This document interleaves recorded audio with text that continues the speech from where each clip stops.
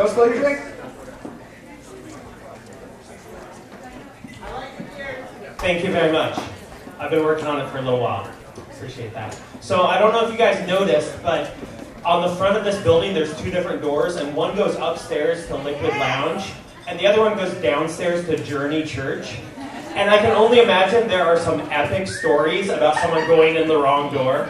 So if you got one of those stories, I'd love to hear it sometime. Um, I was watching the Portland News the other night, and they were talking about a suspect they were looking for. He was a young male in a hooded sweatshirt with a backwards baseball cap. And I thought, that kind of feels like that's a lot of people. Like that's kind of a broad uh, description of the suspect. And I was thinking, what if they were looking for someone in Bend, and they described him as a white male, somewhere between 20 and 45. It's hard to tell because he's so fit. And he's driving a Subaru Outback with a dog in it and a bicycle on top. And I was thinking, I know that guy. And I think I think you might know that guy too. In fact, you might be that guy right now. But uh, Bend's a funny town. People are so into fitness. I was driving the other day, and I say people are so into fitness, and I was driving, of course, not riding my bike. Uh, and I see this guy riding his bike, and he is he's 50s. He's good size. I mean, he's a he's a good sized guy, and he is head to toe lycra spandex. It's tight in this region. He's he's he's got the tights on, and he comes to a four way stop at the light.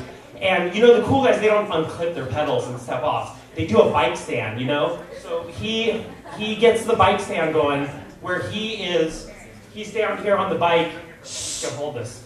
He's down here and he's just working it. And he's just he's got these moves. He's not gonna put his feet down. And he's just really working it. He's off the seat. And I'm thinking, that's really impressive. This guy's like a like a really uh, graceful grizzly bear and he's just really working it, and he's, he's feeling good about himself. But what he doesn't realize is the car full of teenage girls right here is going.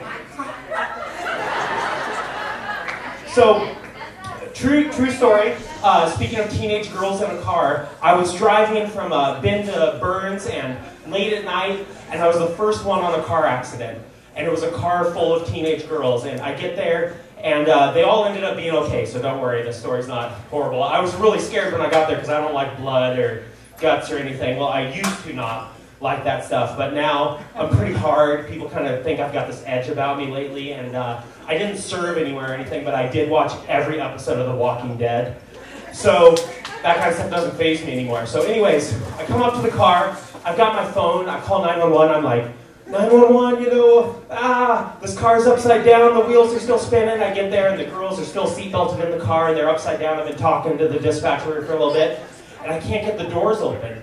So I finally am like, all right, this is going to be epic. Like, this is going to be the most sick moment of my life. I'm just going to get down and I'm going to rip this door off. And I'm just thinking, this sucks that I'm by myself. Like, why are none of my friends watching this? So I get down there and I'm ready. I've got the phone on my shoulder and the dispatcher asks me a question, and I say, Not now. I'm about to rip this door off. And she says, I need you to answer the question, ma'am.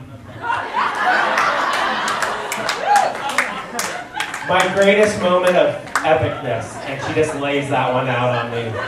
And uh, it was an old school cell phone, like a flip phone. And so I, I was kind of at a loss. If it had been my iPhone, I was going to say, hang on, what's your cell number? I'm going to call you right back. I'm going to FaceTime you. I want you to see this beard. Okay? Okay? Thanks a lot, everybody.